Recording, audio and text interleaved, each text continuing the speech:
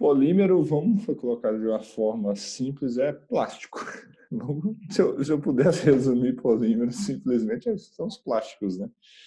Ou seja, são, são materiais que são é, macromoléculas, né? Que a gente pode chamar elas assim, né? São moléculas gigantescas que são obtidas por meio de, de uma reação é chamada de polimerização, né? Polimero, quer dizer que você tem um mero, né?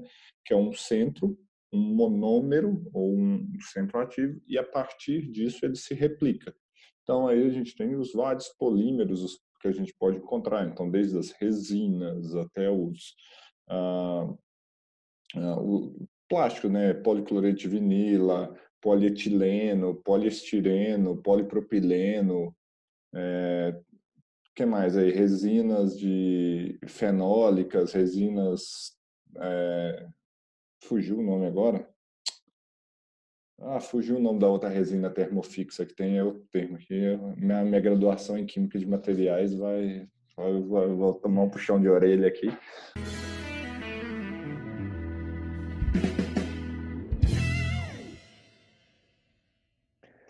Olá, sejam bem-vindos ao Pausa para Respirar, o um podcast semanal sobre higiene ocupacional da Analytics Brasil. Eu sou o Rodrigo. Eu sou a Gabriela. Eu sou o Douglas. E eu sou o Leandro. Leandro, vamos continuar a série de estudos de casos, de situações que são, né, são comuns, mas ainda assim não dá para tomar como via de regra, né? É para dar pelo menos um norte de como avaliar as situações e poder trabalhar de uma forma diferente.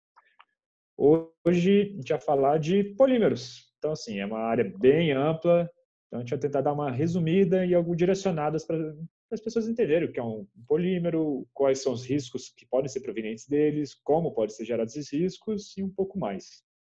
Beleza, então acho que a primeira coisa que a gente tem que falar, né, você falou, primeira coisa, polímero, tem muita gente que não deve saber o que é isso aí. Nós que somos químicos, está fácil, né? É, era para estar, tá, né? Se você conseguir resumir bem aí. Polímero, vamos colocar de uma forma simples, é plástico. Se eu, se eu pudesse resumir polímero, simplesmente é, são os plásticos, né? Ou seja, são, são materiais que são é, macromoléculas, né? Que a gente pode chamar elas assim, né? São moléculas gigantescas que são obtidas por meio de, de uma reação é chamada de polimerização, né? Polimero, quer dizer que você tem um mero, né? Que é um centro, um monômero ou um centro ativo, e a partir disso ele se replica. Então aí a gente tem os vários polímeros que a gente pode encontrar, então desde as resinas até os ah, ah, o plástico, né? Policloreto de vinila, polietileno, poliestireno, polipropileno, é, que mais aí? Resinas de fenólicas, resinas. É... Fugiu o nome agora? Ah, fugiu o nome da outra resina termofixa que tem, é outro termo aqui. Minha, minha graduação em Química de Materiais vai. vai vou, tomar um puxão de orelha aqui, mas tudo bem. É, esqueci a outra que é mais comum, né? As resinas fenólicas, que são aqueles cabos de panela, etc. Então, a gente, quando a gente está falando da química de polímeros, aí a gente está falando dessas moléculas gigantes, né, que a gente pode chamar ali, são moléculas bem grandes que estão presentes no nosso dia a dia, tudo, né? Bacana. E você já começou a responder a segunda pergunta, mas é como que a gente consegue identificar que há a presença de um polímero, né, às vezes num produto? Como que é a questão da nomenclatura disso? Geralmente, né, Gabi, a gente vê isso aí por meio do nome poli alguma coisa ou resina alguma coisa. Né? Então, eu acho que a maioria das resinas, tirando aquelas naturais, elas são polímeros, né? Ou se a gente for parar para pensar. É, então, o resto é, a gente vai ver os poli, algumas coisas são, são polímeros, né? Então, a gente sempre tem o nome poli e o nome, nome do monômero, né? Ou da unidade que se repete ao longo do tempo. Então, quando a gente fala do PVC, policloreto de vinila, né? Então, você tem o cloreto de vinila que ele vai se repetindo ao longo dessa cadeia, né? Então, aí você tem estabilidade. E é muito importante a gente enfatizar aqui, Gabi, que eu acho que vai ser um tema que vocês vão falar, mas Aí, igual eu falei que, ah, ah, então quer dizer que no policloreto de vinila tem cloreto de vinila? Então a gente tem que tomar esse cuidado porque às vezes as pessoas vão, ah, então tem o risco do cloreto de vinila. Bom, não é bem assim, né? Se ele tiver temperatura ambiente, etc., igual um filme de PVC que você usa lá na sua casa para embrulhar um alimento, etc. Não tem cloreto de vinila ali, tem o policloreto de vinila, né? Então é diferente, são substâncias com toxicidades completamente diferentes. Então muda da água para o vinho ali a questão de toxicidade, o que, que a gente pode esperar de exposições a esses agentes, né? Aproveitando falando nisso, porque muitos muitas empresas muito grandes já compram direto do fabricante esses polímeros, né? Algumas resinas elas ainda são têm os agentes da reação. Então, é, às vezes é comum no, quando a pessoa compra direto do fabricante em quantidades industriais ter esse resíduos ainda do, dos monômeros. Bom, Rodrigo, segundo os fabricantes, em tese não era para ter, né? Mas foi até interessante esses dias teve uma um, um, vídeo, teve um cara que era especialista nessa parte de resinas que eu estava falando dos riscos da epicloridrina e do bisfenol A. Qual tipo de resina agora? Que eu é da. Não sei se vocês lembram. Foi um, acho que foi até de um podcast que a gente falou sobre tintas. Então, aí ele estava falando ah, que não tem isso de jeito, não, não existem essas coisas no, uh, na, na, resina, mas a gente sabe, né, que pode ter alguns resquícios. A ideia é que não tenha, né, mas se a gente está tratando de alguns agentes que têm limites de exposição muito baixos ou, ou propriedades toxicológicas graves, é, é bom a gente ficar atento, né, a esses subprodutos que podem carregar, mas se você a gente pegar no nosso dia a dia, não é esperado que para uso final tenha, né? Mas para uso industrial pode ser que tenha um pouquinho, vai depender da qualidade, né? É o que eu costumo falar também, a qualidade do produto que você compra tem muito a dizer sobre ele. Quanto mais barato, menos puro ele tende a ser. Então pode ser que ele carregue um pouquinho aí desses uh, desses monômeros, né? É, exatamente. Dependendo do processo, se a pessoa tiver informação sobre o grau de polimerização, né? Então, uhum. dá para saber quanto maior esse grau, menor seria a quantidade dos monômeros, né? É um parâmetro também. É. E nessa questão de nomenclatura também, tem alguns agentes que não vai ter poli, né? Então, por exemplo, nylon, que é um nome comercial para poliamida. Então, o pessoal ficar atento também. Teflon é um outro tipo de polímero também, que é o hum. politetrafluoretileno. Então, sempre ficar atento. Quando não está claro que é um polímero, pode ser que seja sim, e pesquisar mesmo e olhar no Google e correr atrás da literatura mesmo, para identificar se é ou não um polímero. É, esse cuidado, né, Gabi, que a gente sempre fala com todos, né? Nome comercial a gente não consegue fugir, né? Então a gente encontra isso não só com os polímeros, né, mas com os outros produtos químicos também aí que às vezes perguntam para a gente, ah, o produto XYZ, aí vem o um nome comercial. A gente não sabe, né? Então vai depender realmente do, do como que as pessoas estão chamando ali, ou se coloca o nome comercial, igual você falou, o Teflon, e eu sei que o Nylon é uma marca registrada, o Teflon agora eu não lembro se ele é uma marca registrada também. Mas o Nylon eu tenho certeza que foi o primeiro lá que fez a poliamida mil, milhões de anos atrás, né? milhões não, mas há muito tempo atrás. Uhum. Foi o primeiro a obter ela em formas de, de fio, né? Então ele fez o, ele registrou essa a marca do nylon que é o produto dele e aí pegou geral, né? Igual a gente tem vários outros produtos que são chamados pelo nome da marca aí no nosso dia a dia. É, aí vale, vale lembrar também, só para finalizar, Douglas, que é o, tem o isopor também e o neopreno, né? Também são polímeros e usam nomes de marcas comerciais.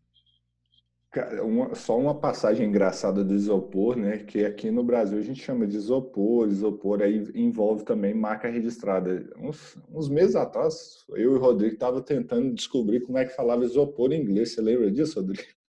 Ou não foi com você? Um já, né? Acho que foi comigo, não. Aí, aí, eu tô, aí foi, cara. Aí eu tava conversando com meu irmão, meu irmão tava fazendo um artigo dele, meu irmão é pesquisador e tal. E aí, cara, eu, eu descobri lá, mas aqueles nomes que a gente está falando são marcas registradas também nos Estados Unidos. Então, é, é, outro produto como o nylon. Então, às vezes, se o pessoal estiver lendo em inglês aí, são marcas registradas. O, O, isopor é o poli o quê? esqueci qual que é a poli... Poliestireno. Poliestireno expandido, né? A diferença do outro é que ele é expandido e no centro daquelas bolinhas ali tem o, um gás, né? Que, que é o que dá a conservação do, de temperatura dele, né? Exatamente. É interessante também, quando a gente está falando de polímeros, entender aí quais são os principais tipos de polímeros que a gente tem. Né? A gente tem, por exemplo, os termoplásticos os termorrígidos e os elastômeros, né? que são as borrachas aí famosas. Uh, entender, Leandro, qual que é o tipo de um polímero? Dá algum vestígio aí para quando a gente está lidando com ele numa questão de higiene ocupacional?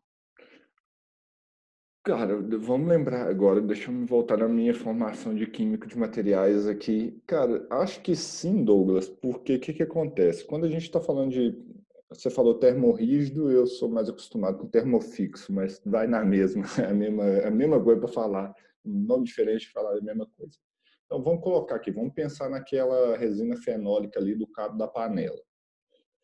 Então, o que, que acontece? Essas resinas, elas, quando elas são termofixas ou termorrígidas, eh, geralmente elas aguentam muita temperatura. Então, o que, que acontece? Elas não vão entrar no ponto de amolecimento, né, que a gente chama. Então, elas tendem a não se decompor. Ou seja, se você já tem aquela resina pronta ali, ela não tende a apresentar grandes riscos. O que, que, que, acontece com ela? Quando você aquece muito uma resina termorrígida, né, ou um, um polímero termorrígido, ele vai começar a meio que é, carbonizar mesmo, né? Então ele vai entrar em combustão já. É diferente de um polímero termoplástico que quando você começa a aquecer ele a baixas temperaturas, principalmente, perto do ponto de amolecimento, ele vai ele vai fluir, né? Ele vai literalmente amolecer, ele vai ficar viscoso, vamos dizer assim. E aí ele já pode sim começar a se degradar. Então a tendência de um polímero termoplástico né, é aquele que você começa com um pouquinho de temperatura, você já vê ele ficando molenga, né? Então ele já começa a se decompor. Ao contrário do termorrígido, né, ele, ele tende a aguentar muito mais temperatura. Então, em termos de percepção de análise de riscos, é importante porque, por exemplo, um, um polímero termorrígido, né, você não consegue fazer processo de extrusão com ele. Então muda como que é feito um termorrígido. Então, na verdade, você vai são as famosas resinas que você tem que fazer cura, né? Você coloca um, um, um reagente A, um reagente B, eles vão se reagir ali e você vai fazer aquela resina já no formato, uma forma que seja precisa. É diferente de um termoplástico que você consegue fazer extrusão. Você põe esse plástico a alta temperatura, ou não tão alta para ele se decompor, ele amolece, você coloca em forma, você consegue moldá-lo, né? Então é diferente, sim, ó, eu acredito, principalmente por causa da questão de temperatura, que é o que é onde que a gente tem que preocupar com esses é, polímeros, né? Na hora que a gente for falar de higiene ocupacional, os riscos mesmo, os riscos pesados associados a esses produtos estão, na verdade, em processos envolvendo temperatura. Processos a temperatura ambiente, em que esses materiais estão sólidos, a tendência é que, se eles não tiverem nenhum aditivo, né, provavelmente eles vão trazer isso também, é que as exposições a, a esses polímeros não sejam tão altos. A não ser que também, igual a Gabi trouxe aí, o grau de polimerização seja baixo, você carrega também os monômeros aí, mas aí a gente está falando mais dos termorrígidos também, desses, desses produtos, né? Leandro, já citando os processos, né? Você já se colocou dois, que é extrusão e moldagem. A gente pode abordar mais outros dois, que é o processo de soldagem e de calandragem. Que aí o calandragem vai ser formação de filmes, não é isso mesmo? É, calandra, sim. Você vai ter. Esse, esse, geralmente vai ser também com polímeros termoplásticos, né? Que você vai ter ele, você vai aquecer ele, você vai ter já vi vários processos, mas um que eu me lembro mais, você tinha uma superfície que era tipo água e rolos, né? Você ia rolando assim, o polímero saindo e ele era tipo uma máquina de fazer macarrão, né? Você vai fazendo assim, aí você vai passando o polímero ali, ela quente, ele vai esticando e vai, você vai fazendo o filmezinho dele ao longo do, do tempo. Esse, esse processo está mais na minha cabeça, né? Então, calandragem é isso, é fazer filmes Geralmente você não está com temperaturas tão altas, né? Porque você precisa de uma certa viscosidade desse material para ele passar ali. Ele não pode estar tá durão, mas ele também não pode estar tá molenga, né? Então tem essas. Uh, geralmente você trabalha com temperaturas mais baixas do que uh, uh, o processo de extrusão, por, por exemplo. E processo de soldagem é um processo que eu nunca vi ao vivo, mas já ouvi falar, né? Igual cabeça de bacalhau para mim. Eu nunca vi soldagem de plástico, não. Para ser sincero, nunca trabalhei, não. Vocês, já viram, já atuaram com esse agente? Eu com esse processo? Na verdade, tem um processo que é novo, que está ainda tendo muita discussão, que chega perto disso, que são as impressoras 3D, né? Que ela que tem as canetas que também fazem algum processo de, de, de soldagem de plástico, né? Porque assim, ela vai criar um novo plástico então, essas canetas podem seguir esse processo, só que essa parte de impressora 3D, do tipo de material que é utilizado, do de quanto isso gera risco, está sendo muito estudado ainda. Deve algumas, algumas novidades que ainda nos Estados Unidos, a NIOSH, a China estão estudando, que vai virar alguma coisa daqui a alguns anos. Vai ter que esperar alguém adoecer primeiro para eles terem dados epidemiológicos, infelizmente. Eu achei alguém importante ainda, né? Uhum. É, realmente. E ainda citando todos esses processos aí de manipulação dos polímeros e associando com os tipos, né, os termoplásticos e os termorrígidos, é, eu, eu entendi isso de uma forma também, Leandro, da gente entender que muitas vezes a exposição vem dos agentes da degradação daquele polímero, né? Uhum. Então, num processo, por exemplo, de aquecimento de um termorrígido, a chance dele degradar é muito maior do que o de um termoplástico, que aí a chance realmente vai ser dele se liquefazer. Tá certo esse pensamento? O que, é que você acha? Então, Douglas, sim, se a gente pegar o que você está falando, faz muito sentido. Só que assim, só que a gente tem que pensar que para um termorrígido começar a degradar, você precisa de mais temperatura. Um termoplástico, às vezes, a baixas temperaturas, você já consegue é, ver decomposição desse material. Então, vamos supor, é, você pega aí um é, polietileno. Hum, então, por exemplo, polietileno a baixíssima temperatura já começa a se degradar, mesmo que seja para moldar. Então, sim, ele a baixa temperatura, a temperatura é mais baixa, você vai é, você vai criar ele numa, numa forma mais viscosa. Sim, ele pode se degradar, mas a tendência é que menos. Mas quando você vai no termorrígido, às vezes ele aguenta temperaturas bem mais altas. Por exemplo, Teflon. Teflon, ele não. É, o Teflon você pode tacar a temperatura que o bicho ali é resistente pra caramba. Então, assim, comparado com outros plásticos, né? Você pega as resinas fenólicas. Pô, qual a temperatura que chega uma panela? Se a gente for passar, tá lá no seu fogão. E ali ninguém tá intoxicando com aquele negócio da compondo. Diferente se você colocasse uma resina ali de, de PVC, um cano de PVC, por exemplo. A gente vê lá, o cara esquenta o, o, os bombeiros, né? Esquenta, bombeiro hidráulico, esquenta um cano de PVC ali, você, ele já amolece, você vê. Talvez aquela temperatura do isqueiro ali não é o suficiente para degradar, mas, por exemplo, PVC a 180 graus Celsius já libera ácido clorídrico. Então, são coisas assim que provavelmente uma resina, um, um, um polímero termoplástico, 180 graus Celsius, dependendo, faz da encosca nele, né? Então, ele não está nem, uhum. nem liberando nada. Então, assim, a gente vai ter que olhar caso a caso, mas se, a gente, se eu pudesse pontuar de uma forma geral, é isso. Quando eu falo de termoplástico, eu estou amolecendo ele. E ao amolecer ele, sim, ele pode se degradar. E o termo rígido, eu não vou conseguir amolecer ele. Então, eu vou precisar de muita temperatura, muita temperatura para começar a degradar ele. Ele tem uma estrutura, ele é mais estável, né? Se a gente fosse pensar assim quimicamente. Se a gente for pensar em estabilidade em química, é a quantidade de energia que a gente precisa dar para acontecer uma reação, né?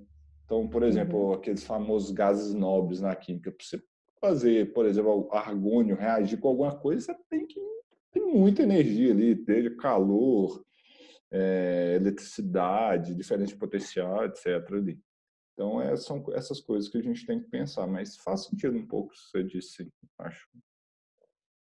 É, eu acho que dá uma ideia que talvez o termorrígido é mais seguro, né, para ser empregado a, a, processos de que uh, estão relacionados à elevação de temperatura.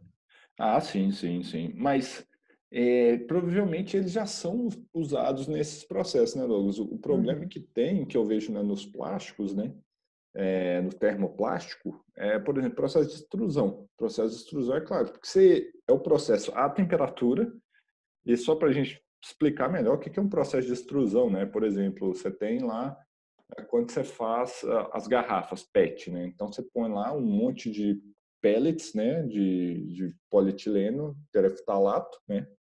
Você põe lá, você põe dentro de um, de um, forno, aquece isso, isso fica mole, tem um parafuso com rosca finita, né, que fica rodando ali, misturando aquele negócio, e na ponta lá, você vai, esse parafuso vai empurrando essa massa, ela vai sair lá na ponta, num formato, e vai ter uma máquina de sopro, por exemplo. Aí você vai botar esse negócio e tem sopro. Tem outros processos que já vem uma garrafinha, né, que é o tipo um, a base do negócio, você põe dentro de, do molde, esse molde aquece esse material e aí entra uma máquina de sopro, aí expande. Então, tem vários processos. Quando, quando a gente fala de termoplástico, muitos deles né, são usados aí no nosso dia a dia e são feitos, os materiais que a gente usa são feitos por processo de aquecimento em que pode haver a decomposição desse material. Né?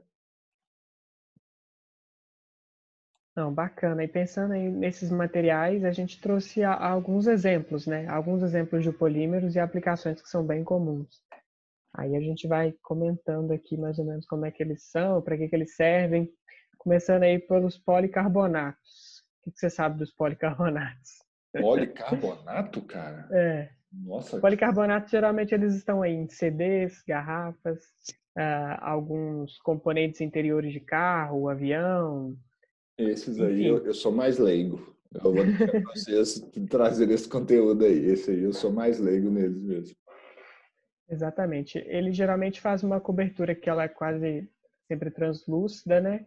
Serve também para algumas vitrines, então é, é muito utilizado aí. Uhum. Tem que também, mais? por exemplo, o poliuretano. O poliuretano é bem comum. Né? Poliuretano é muito comum e esse daí é um probleminha assim, entrar em combustão ou aquecer muito, né? Porque libera cianeto, né? Exatamente. E aí também é utilizado muito para filmes, revestimentos também, é utilizado em automóveis e também outros veículos, porque ele é um, ele é um bom isolante térmico, né? Então o pessoal utiliza ele aí a rodo. E ele é, é usado muito em espuma também, né, Douglas? Sim, espumas e polias, correiras, tanta coisa. Então é, é, muito empregado. Se eu não me engano, ele foi. Acho que as espumas lá da Boate Kiss eram de poliuretano. Que foi o grande problema da, das fatalidades que tiveram lá, porque na hora que essas espumas entraram em combustão, liberou cianeto no ambiente. Cianeto extremamente tóxico, né? E aí muita gente faleceu por conta de intoxicação a cianeto, né, devido à decomposição térmica desses. Se eu não me engano, posso estar errado aqui nessa brincadeira aqui, não, não vou confirmar 100% de certeza nisso não, mas pode, ó, eu tenho eu tenho uma leve impressão que era eram espumas de poliuretano. É, se não me engano é isso mesmo, né? Eles aí são, são usados bastante para revestimento e para isolante térmico e acústico, então faz todo hum. sentido com certeza. Tem o famoso PVC. Policloreto de vinila, que a gente já até falou, né? Então, ele, ele libera ácido clorídrico, o, o cloreto de vinila. O importante que a gente tem que falar, Douglas, é assim, quando a gente fala desses agentes, né? Todo plástico, ele tem, ao ser aquecido, a tendência dele é voltar para o próprio monômero, né? Então, o PVC, ele vai tentar, vai tender a voltar ao cloreto de vinila ao uretano, né? Então, o grupo uretano é o NC, né? N-C. Então, ele vai tender a voltar às suas origens, lá que tem o... que é, eu esqueci quais são, são dois precursores para fazer a, a reação para fazer a poliuretano. É um poliol, é um álcool e um Agora me falha a memória qual que é o, o, outro agente lá. Então ele tem que reagir entre os dois ali para formar o grupo uretano, né? Então é, a gente sempre tende a voltar aos grupos uh, aos grupos originais, né, que deram origem àquele àquele agente. Isso, mas é, é bom lembrar, deixar em conta que, sim, é, é, esperado que vire os monômeros, só que é em temperaturas muito altas, porque tem que ser uma alta energia para dissociar de forma... Da mesma forma que ele se formou juntinho, para ele separar corretamente também tem que ser muita energia para ele sair inteiro, porque senão vai sair em pedaços menores, pedaços menores. Por isso que quando a gente trabalha com decomposição, é, decomposição térmica, né, você tem vários outros compostos que podem ser gerados. E isso depende muito da quantidade de energia. Há algumas, algumas é, dá para prever alguns agentes que vão ser, mas muita coisa é gerada uma vez ou em quantidades muito diferentes, porque vai variar muito do dia, do tipo de material. Hum. É uma roleta russa, uma roletinha isso daí para descobrir o que está sendo ou não. É, mas geralmente tem um padrão, né, Rodrigo? Igual assim, é, alguns agentes, a gente, questão dos monômeros, alta temperatura, com certeza, até porque senão, né, eles não, a gente não esperaria que eles estivessem juntos a temperatura ambiente. A tendência era que eles ficassem degradando ali, né? Então, a gente uhum. tem que sempre pensar em estabilidade. Se eles estão juntos, eles são mais estáveis quimicamente, né? É, mas assim, a gente tem que sempre pensar. A gente tem oxigênio e temperatura, então há sempre a a, a tendência de formação de compostos carboxílicos, né, orgânicos, né? Então, quando você aquece esses materiais, há a tendência de formar acetonas, né? As acetonas, não é acetonas, não, deixa bem claro. Os grupos cetônicos, né? Grupos é, dos aldeídos, né? Então há uma tendência disso por causa do composto orgânico que a gente tem ali, que um, esses polímeros são compostos orgânicos e a presença de oxigênio no ambiente, né? Então a gente tem essa, essas tendências aí também. Eu esperaria para a grande maioria dos, dos materiais é formação de formaldeído, acroleína, assim, é, de plásticos a, a, temperaturas relativamente baixas, eu, eu, eram, eram produtos que eu esperaria. E igual você falou, tem que buscar estudos né, de pessoas que estudaram esse processo de decomposição desse material. Nem nós, como químicos aqui, a gente consegue adivinhar isso existem análises né, na química que você consegue prever isso, né, chamadas termogravimetrias. Né? Então, você vai aquecendo esse material a determinada, a determinada temperatura e você começa a ver o que está saindo. Olha, está até tantos graus ali, está saindo tal coisa. Então, tem pessoas que estudam isso e nos dão, nos dão bons parâmetros para tentar prever o que, que, acontece, o que, que acontece a esses materiais a, a determinadas temperaturas. É bom você falar de termogravimetria, que é uma técnica bem interessante, porque envolve o, um grande conhecimento da pessoa para conseguir fazer isso, porque ela vai, ela tem que entender como é a molécula. Então, assim, a gente pega a molécula aqui, a gente tem algumas, a gente consegue ver, prever algum outro agente que pode sair. Ah, tem um grupo nitrogenados, então, ah, beleza, pode ser que veja, chegue a gerar uma, um risco de amônia. Então, vai dependendo muito do, do que vai estar tá compondo. Só que as pessoas que trabalham com termogravimetria, eles ah, deu um decaimento de 18 gramas aqui. Pá, já sei qual que é o agente. É uma coisa assim, é, cara, é, é uma arte. É tipo assim, é eu arte. tava olhando, quando a gente tinha aula de termogravimetria, assim, eu ficava olhando os caras fazer o negócio, assim, pelo amor de Deus, bicho, vocês têm bola de cristal? O que, que, que é isso que vocês fazem aí? Porque eu não consigo acompanhar esse raciocínio da sessão. Eu achei que tinha um livro de resposta por isso, eles enganavam a gente. Pode ser. É, realmente. E aí, quando a gente pensa, por exemplo, no PVC, né, ele é muito comum por ser muito resistente, né? Então, ele é encontrado aí é, muito comum, muito comum mesmo, em portas sanfonadas, divisórias, persianas, é, canos, né, de água, de ar. Então, é um agente que, será se naquela esquentadinha ali que o bombeiro hidráulico dá para fechar as conexões à geração de algum agente perigoso, pode ser mais comum do que todo mundo imagina. Sim. A tendência é que não seja é, significativa, né? Porque o cara não faz isso durante a jornada inteira, o tempo inteiro, né? Mas pode ser, né? Pode ser que seja gerado ali a temperatura que a gente tem que ver. É, qual, eu não sei quanto que chega a temperatura de uma chama de um isqueiro, de alguma coisa assim, não tenho nem ideia para ver. Mas a tendência é que a exposição não seja não seja significativa, mas sim, pode ocorrer ali algum tipo de é, realmente de exposição que, que muitas vezes não contam, né? Uhum. É, assim, tem muitos exemplos. A gente ficar falando cada um aqui pode ser um pouco desgastante para quem está escutando. A gente vai só falar o, alguns polímeros mais comuns Se ficou alguma dúvida deles, pode comentar, ou na internet tem sim, informações que não faltam sobre esse tipo de, de polímero, né? Sim. Então, ainda assim, ainda nos termoplásticos, né, tem os poliestirenos, os polipropilenos, a, o PET, né, o polietileno de tereftalato, que é aquela embalagem comum de, de refrigerante que todo mundo ainda utiliza. Tem o plexiglass, que é o PMMA, que já são coisas bem mais específicas. Tem alguns polímeros sensíveis à luz, daqui de termoplásticos. E, igual te falando, exemplos que não faltam. Aí tem outros grupos também, que são os polímeros termorrígidos, ou, como você falou, termofixos. Ou, e, por que não, tem mais até um termo diferente, que é o termodurecível. Tem Esse todas, é as opções. Termo endurecível. Dessa pode ser português de Portugal também, né? De repente. Ah, bem provável. Bem provável. É. Aí eles já são as epóxis, a poliéster, a baquelite, então já são coisas bem mais específicas, né? São, uhum. já, você vê que o uso deles são usos completamente diferentes, que tem que ter as propriedades deles já são bem específicas, né? Você me lembrou a resina que eu queria falar lá. Eu tinha falado da fenólica, eu queria lembrar da resina epóxi. Ainda bem que você me falou aí agora. Então é isso resina epóxi. Eu não estava lembrando lá no início. Então, não rasguem meu, meu diploma de Química de Materiais. Então, está valendo ainda. Pode falar com a Neuci para não brigar com você. Nossa Deus, é verdade.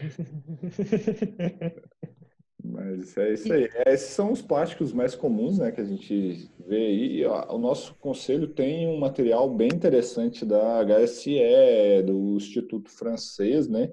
A gente poderia é, passar para o pessoal, né? Qualquer coisa, quem quiser ter esse material, entre em contato com a gente, manda um manda uma mensagem aqui no, nos comentários desse chat aí. A, a, gente pode colocar até a hashtag desse episódio aqui como eu quero. Se botar a hashtag eu quero aí, a gente manda as informações para vocês aí de desses materiais que a gente usa no nosso dia a dia, né? Então, até para vocês falarem aí quando chega qual que é o processo de reconhecimento de riscos aqui que vocês ajudam a nossa equipe, os nossos clientes aqui na Analytics, né? Que esse é um dos nossos diferenciais, né? O que a gente mais faz no nosso dia a dia é ajudar esses profissionais a tomarem as melhores decisões, né? Então, tem, nós temos boas fontes de informações aqui e vocês puderem até dar um contar para o pessoal como que a gente faz isso no dia a dia aí para ajudar eles e convidar também que quem quiser conhecer entrar em contato com a gente, né?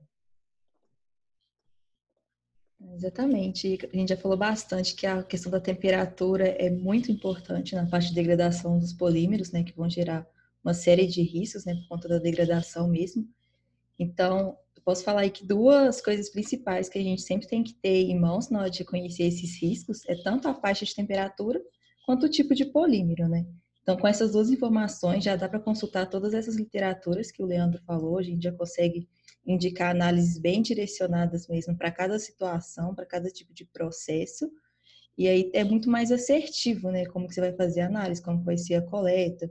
A gente consegue entender de fato quais são cada um dos riscos que os trabalhadores estão expostos. Então, a gente está aqui à disposição para estar tá ajudando todo mundo que precisar. A gente dá esse suporte aí, essa consultoria nessa área também. E, Leandro, a gente está falando muito de aquecimento, mas esses polímeros podem gerar risco também quando, na forma dele, como polímero ainda? Eles temperos, como é que é?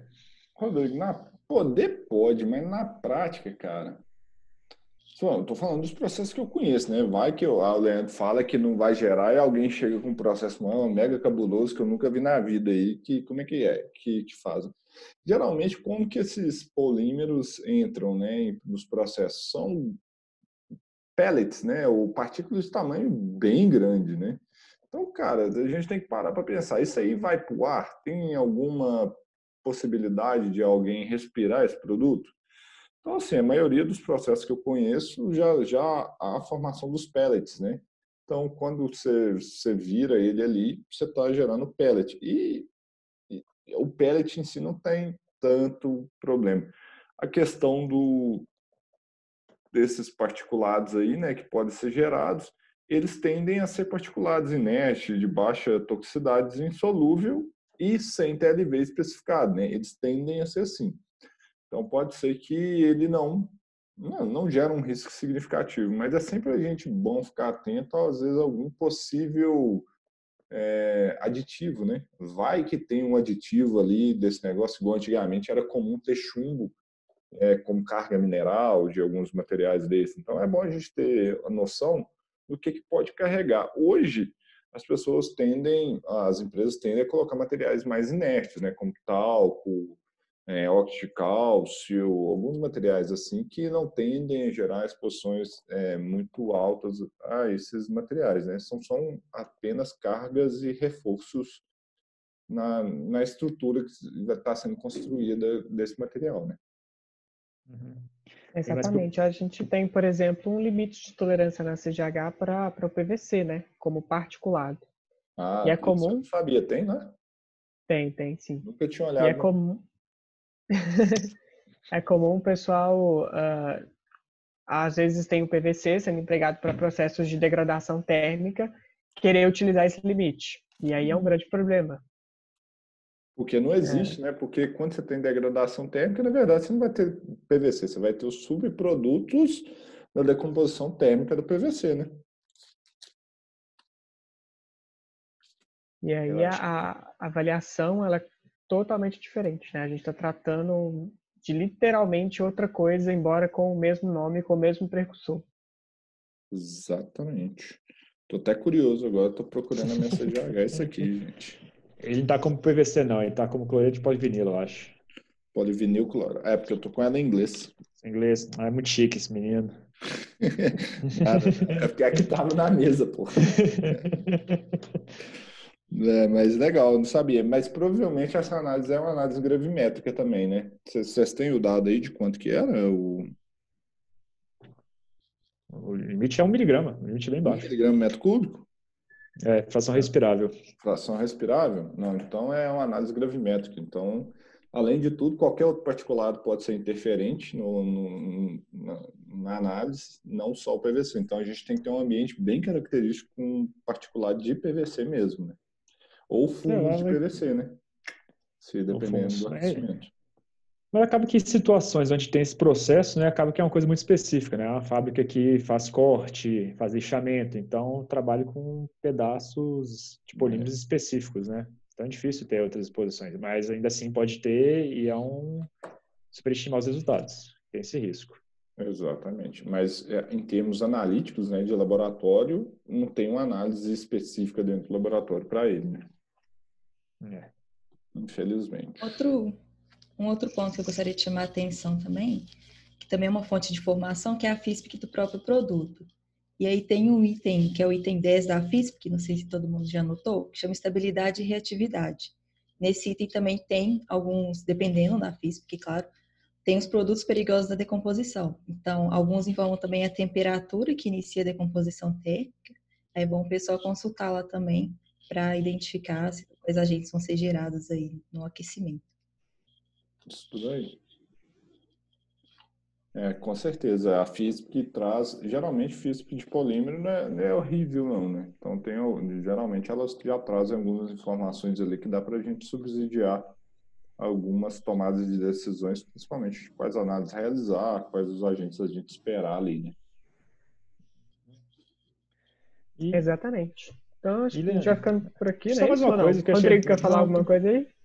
Quero falar, tô fim de falar hoje. Hoje não é vez de ficar falando muito, deixa só o Leandro ficar falando, não. então, vamos embora. É, também uma coisa importante no, dos polímeros é saber como se proteger deles, né? Gosto de falar, das FISPs tem muitas informações de, dos riscos e como manusear esses produtos, porque como alguns polímeros desses vêm direto do fabricante, pode vir com contaminação e dos e vem os os monômeros deles, né? Então tem alguns riscos que o fabricante já espera que vocês protejam. Então tem luvas específicas, tem luvas específicas para cada tipo de polímero que você está trabalhando. Então, dependendo da, do, do, material que você trabalhar, você tem que comprar uma luva para ele e ainda assim pode não ser tão eficiente. Então, é uma, uma coisa para ter, ficar bem atento. E, além disso, também, né, quando você começar a ter a queima desse produto, aí outro, outro procedimento de segurança que tem que levar em conta. Então, assim, é, respiradores, quais filtros, é, um, é, é parte do trabalho do engenheiro de segurança mesmo para decidir isso. Deve ser feito bastante cuidado. Com certeza, esse é o nosso papel, né? Então, é analisar, sentar, entender as exposições e propor o, a melhor tomada de decisão. Isso. Para controlar esses riscos. É só isso que eu queria falar. Pode, pode continuar aí. Vamos fazer o fechamento aqui, então. A gente já definiu a hashtag, né? Isso é eu quero. Eu quero, isso. O pessoal vai estar recebendo um material aí que vai auxiliar, com certeza, a entender melhor esses processos de degradação. E no mais, eu espero que todo mundo tenha gostado aí dessa conversa. Foi mais um estudo de caso que a gente trouxe, a gente vai trazer outros. A gente gostaria também de receber sugestões de vocês. Se alguém que está escutando aí tem algum processo que queria entender um pouco mais, deixa um comentário aí que a gente vai buscar entender, vai buscar conhecer para trazer informação de qualidade aqui para vocês. Exatamente. Perfeito. Continue a seguir a gente em todas as nossas redes sociais. Quem está vendo no YouTube e, que, e quiser ver a gente enquanto dirige, tem também no Spotify, no Deezer. Então você pode estar. Tá, se não cansou da gente ainda de tanto ver aqui, pode escutar a gente. E quem está só escutando a gente e quiser ver nossa carinha, tá no YouTube. Isso aí. Valeu, gente. Obrigadão. Um abraço e até o próximo podcast. Então, pode terminar, Gabi. e continue respirando bem por aí. Isso aí. Falou, gente. Valeu, um abraço. Valeu, pessoal. Falou, até Tchau. a próxima.